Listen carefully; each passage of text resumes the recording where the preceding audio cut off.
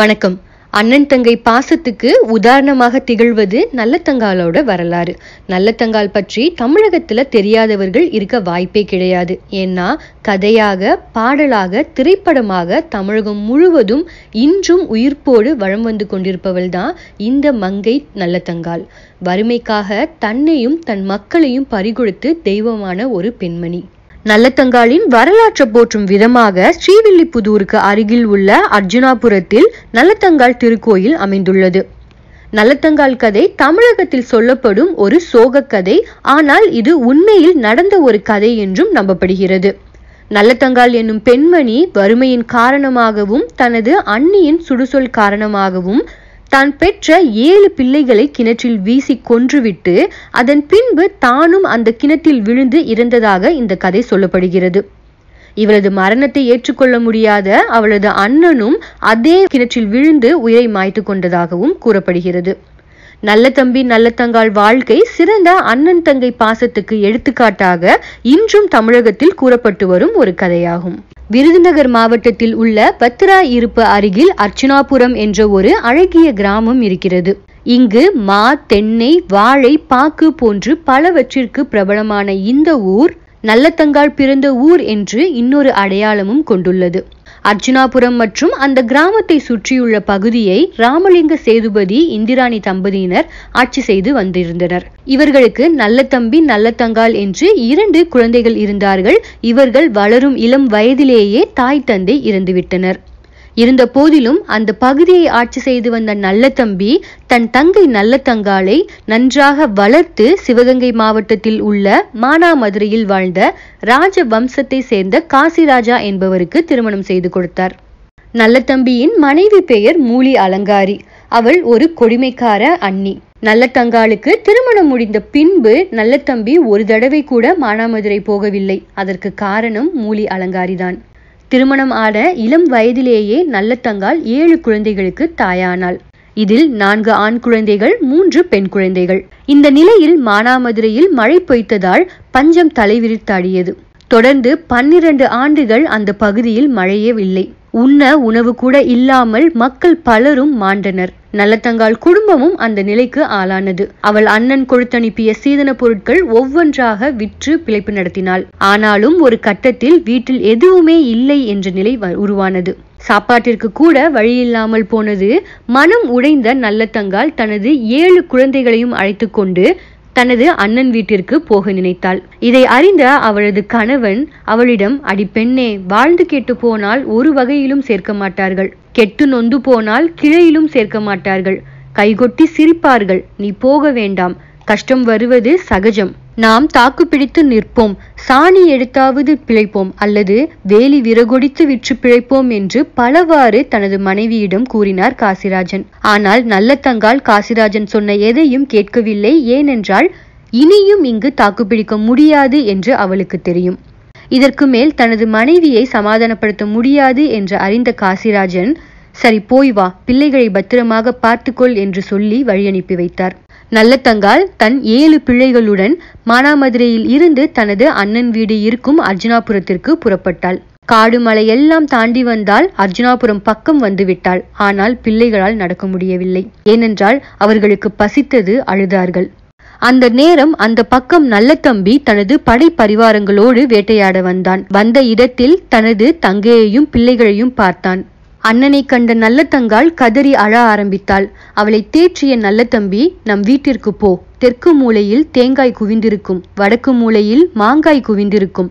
காட்டு யானை வாசலில் கட்டி இருக்கும். காராம் பசுவும் இருக்கும். போய் உன் பிள்ளைகளுடன் பசியாரி இரு என்று கூறினார். நல்லத்தங்காள் அண்ணன் இல்லாத வீட்டிற்கு போக தயங்கினாள். அதனால் நீயும் என் கூட வா என்று அண்ணனை கூப்பிட்டாள். ஆனால் முதலில் நீ போ. உன் அண்ணி மூலி அலங்காரி உன்னையும் உன் பிள்ளைகளையும் நன்றாக கவனித்துக் கொள்வாள். நான் பின்னாலே வருகிறேன். போய் வா என்று கூறிவிட்டு வரும்பொழுது உன் பிள்ளைகள் விளையாட புள்ளிமான் கொண்டு வருவேன் என்று சொல்லி சமாதானப்படுத்தினார். பின்பு சமாதானம் அடைந்த நல்லத்தங்காள் தன் பிள்ளைகளை அழைத்து கொண்டு அண்ணன் வீட்டிற்கு சென்றாள். அங்கு நல்லத்தங்காளும் பிள்ளைகளும் பசியோடு வருவதை அறிந்த மூலி அலங்காரி வேகமாக வந்து கதவுகளை ஈர மண் போட்டு அடைத்தாள். சோற்று பானைகளை ஒளித்து வைத்தாள் பழந்துணி ஒன்றை உடுத்திக்கொண்டு முகத்தில் பத்து போட்டு மூலையில் படுத்துக்கொண்டாள் வீட்டிற்கு வந்த நல்ல தங்காலோ அண்ணி என்று ஆசையாக கூப்பிட்டு கதவை தட்டினாள். காணால் கதவு திறக்கவில்லை. என் புத்திரர்கள் பசியார கதவை திறவாயோ? என்று அழுது கூப்பிட்டாள் ஆனாலும் மூலியின் மனம் இறங்கவில்லை. நல்ல தங்காளுக்கு கோபம் வந்தது. நான் பத்தினியானால் கதவு திறக்கட்டும் என்று கட்டளையிட்டாள். கதவுகள் திறந்தன. உள்ளே ஓடிய பிள்ளைகள் சுற்றி சுற்றி பார்த்தார்கள்.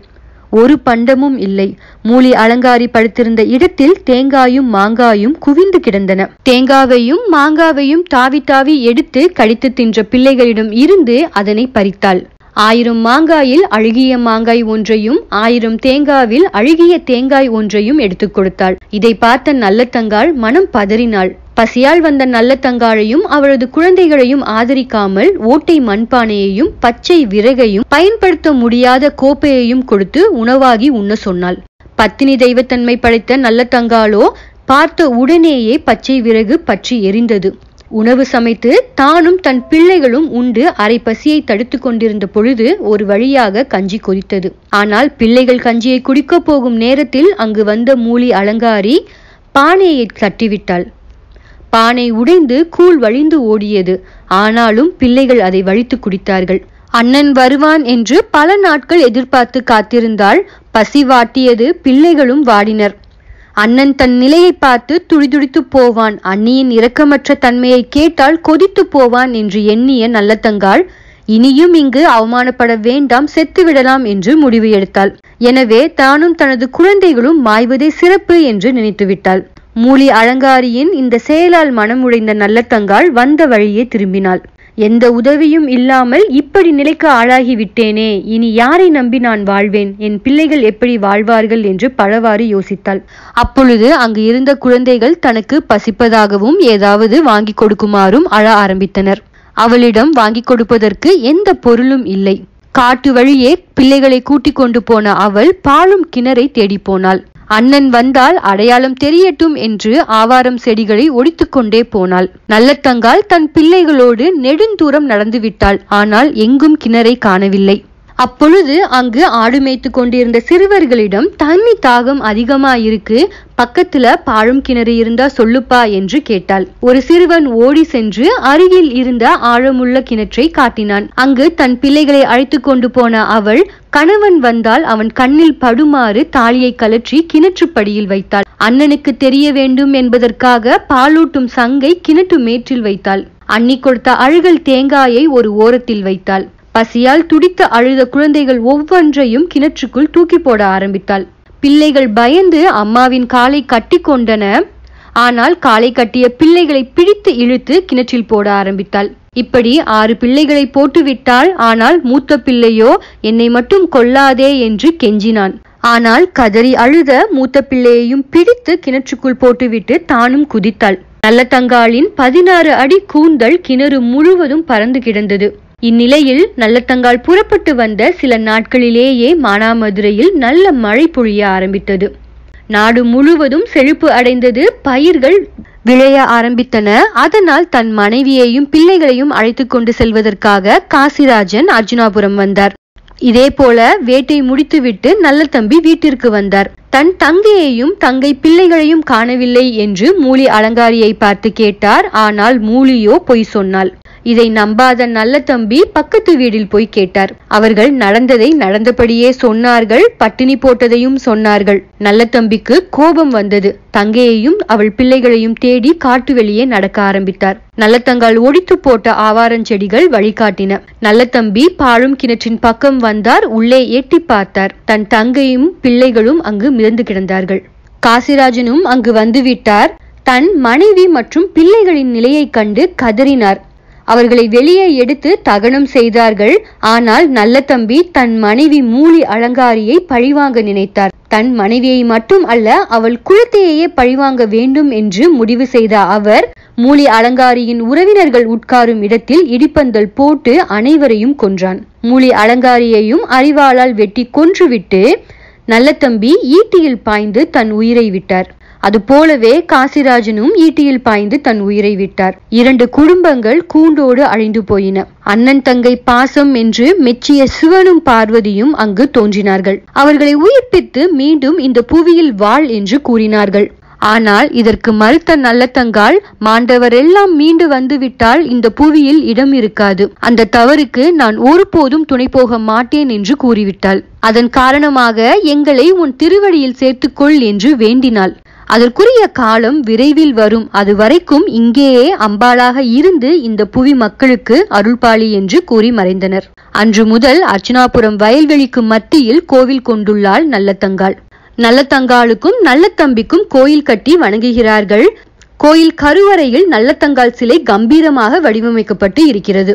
ஏழு குழந்தைகளின் சிலை ஒரே கல்லில் செதுக்கப்பட்டு உள்ளது. இந்த கோவிலுக்கு சற்று தொலைவில் ஒரு பாழடைந்த கிணறு சிறந்து போய் காணப்படுகிறது. இங்குதான் நல்லத்தங்கால் தன் பிள்ளைகளுடன் தற்கொலை செய்து கொண்டாள் என்று கூறுகிறார்கள். இந்த கோவிலில் ஒவ்வொரு ஆண்டும் ஆனி மாதம் பொங்கல் திருவிழா சிறப்பாக நடைபெறுகிறது. அது மட்டுமல்லாமல் ஆடி மாதமும் பொங்கல் விழா நடைபெறுகிறது. அன்று நல்லத்தங்காலின் உறவினர் வழித்தோன்றர்களாக வந்தவர்கள் மானாமதுரையில் இருந்து இங்கு வந்து விழாவில் கலந்து கொள்கிறார்கள். பிள்ளை பேரு பிள்ளைகள் நலமுடன் வாழ தங்கள் வேண்டுதலை நிறைவேற்றும் விதமாக எலுமிச்சை வைத்து கட்டப்பட்ட தொட்டிலை அம்மனுக்கு முன்பாகவும் ஏழு குழந்தைகளின் சன்னிதானத்திலும் கட்டி வணங்குகிறார்கள். திருமணத்திற்கு பிறகு அண்ணன் தங்கை பாசம் எப்படி இருக்க வேண்டும் என்பதற்கு சான்றுதான் நல்லத்தங்காளின் கதை. தன்னால் தன் அண்ணனுக்கு சிரமம் வரக்கூடாது என்று தங்கையும் தன் தந்தைக்கு கிடைக்காத வாழ்க்கை தனக்கு வேண்டாம் என்ற அண்ணனும் உயிரை மாய்த்து கொண்டுள்ளனர். ஈடில்லாத ஒரு உணர்வு பூர்வமான எடுத்துக்காட்டாக இந்த கதை விளங்குகிறது. மேலும் இது போன்ற தகவல்களுக்கு பாய்மொழி சேனலை சப்ஸ்கிரைப் பண்ணுங்க லைக் பண்ணுங்க ஷேர் பண்ணுங்க. நன்றி.